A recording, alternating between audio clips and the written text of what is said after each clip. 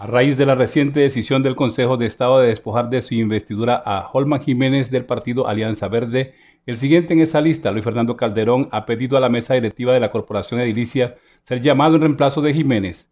Estos son los fundamentos que expone el político barranqueño. El oficio presentado ayer al Consejo Municipal obedece a que el, el abogado que me está acompañando a mí, experto también en temas, en todos estos temas administrativos, de que tiene que ver eh, con el Consejo Municipal, amparados en la ley 136 del 94. Quiere decir de que nosotros estamos solicitando que de manera inmediata se me llame a mí al Consejo Municipal a, ocupar la curul que dejó en vacancia el concejal eh, Holman Jiménez por los lamentables hechos que ya todos conocemos. Se espera ahora una respuesta de la mesa directiva del Consejo que preside la corporada Diana Jiménez.